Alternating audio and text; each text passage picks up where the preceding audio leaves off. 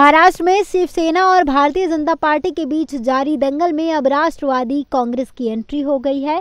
बता दें आपको कि एनसीपी नेता प्रफुल्ल पटेल ने हाल ही में कहा है कि हमें विपक्ष में बैठने के लिए जनादेश मिला है, लेकिन अगर हालात बदलते हैं तो वो विचार कर सकते हैं। बता दें कि हाल ही में भारतीय जनता पार्टी के विधायक दल की बैठक, इस बीच एनसीपी ने ये बड़ा बयान दिया है। मुख्यमंत्री पद को लेकर शिवसेना और भाजपा एक दूसरे पर वार कर रहे हैं। शिवसेना नेता संजय राउत ने कहा था कि अगर भाजपा गठबंधन धर्म का पालन नहीं करती है तो शिवसेना के पास अन्य विकल्प भी हैं। भाजपा उन्हें उस पर विचार करने के लिए मजबूर ना करे। कांग्रेस की ओर से लगातार कहा जा रहा है कि अगर शिवसेना हमें प्रस्ताव देती है तो वो सरकार बनाने पर विचार कर सकते हैं। वहीं एनसीपी के छगन भुजबल ने भी शिवसेना को बीजेपी का साथ छोड़कर उनके साथ आने को कहा था। हालाँकि शिवसेना की ओर से कोई बयान नहीं आया था।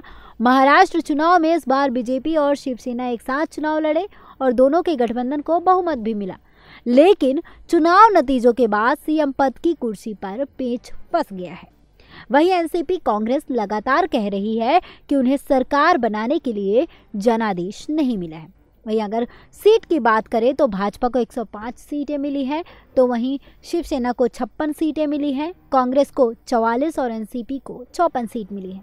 इधर एनसीपी और कांग्रेस की ओर से शिवसेना पर डोरे डाले जा रहे हैं। तो बीजेपी नेता सुधीर मुनगंटीवार ने बयान दिया है कि अगर शिवसेना विपक्षी पार्टियों के साथ जाने की सोचती है तो ये विपरीत बुद्धि के समान होगा।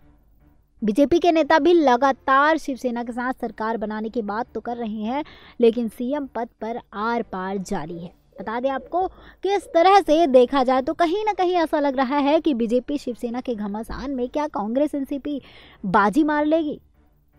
अब देखना दिलचस्प होगा कि इसके नतीजे क्या आते हैं। S P N nine newsroom से श्रुतिक रिपोर्ट।